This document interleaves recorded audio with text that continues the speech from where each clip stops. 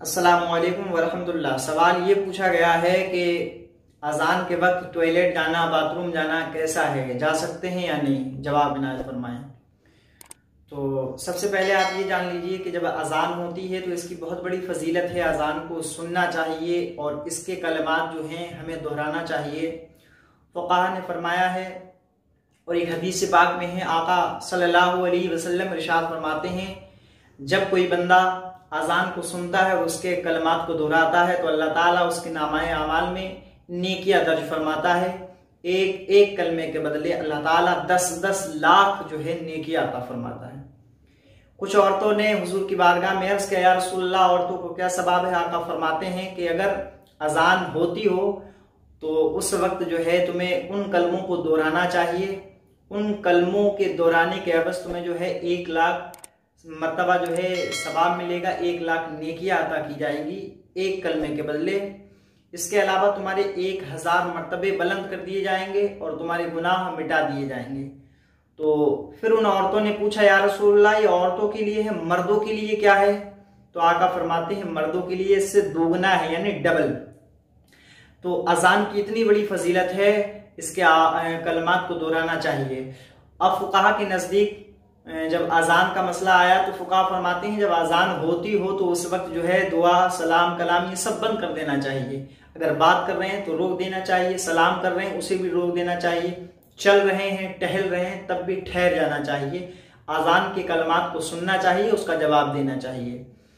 اب بعض فقہ ارشاد فرماتے ہیں، اور سرکار اعلیٰ حضرت نے فتح رضویہ شریف میں فرمایا کہ جو لوگ اذان کے درمیان بات چیت کرتے رہتے ہیں تو خاتمہ برا ہونے کا اندیشہ ہے معذ اللہ تو لہٰذا ہمیں اس سے پرہیز کرنا چاہیے اذان ہو تو اس کے کلمات کو دہرائیں اور بعد اذان جو ہے دعا پڑھیں۔ اب اچھا باتھ روم جانے کا جو مسئلہ ہے تو وہ یہ ہے، اس کی دو صورتیں ہیں۔ ایک تو یہ کہ فقہ نے اس بات کے لیے بھی منع فرمایا ہے کہ اذان ہوتی ہو تو باتھ روم نہ جاؤ۔ لیکن اگر شدید حاجت ہے اور دقت ہو رہی، تکلیف ہو رہی، روک نہیں پا رہے ہیں آپ کو جانا بہت ضروری ہے ایمرجنسی ہے۔ تب اس وقت اجازت ہے، آپ جا سکتے ہیں۔ لیکن حد الامکان کوشش یہ کریں کہ جو ہے آپ آزان سنیں، اس کے بعد جب آزان ہو جائے تب جائیں۔ اچھا ایک مسئلہ اور سماعت کر لیجیے۔ دوران قرآن اگر اذان ہونے لگے، تب جو ہے قرآن کو روکنے کا حکم ہے کہ اس وقت تلاوت کچھ دیر کے لیے بند کر دی جائے اور اذان کو سنیں، اس کے الفاظ دہرائیں۔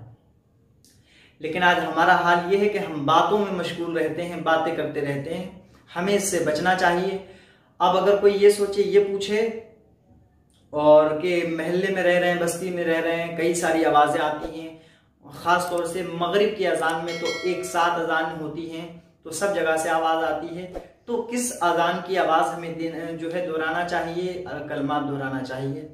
تو اس کے لیے آپ یہ جان لیں کہ آپ جس بستی میں، جس جگہ، جس محلے میں ہیں، اس مسجد سے جو آواز آئے تو آپ اس کے کلمے دہرائیں اور اس کا جواب دیں۔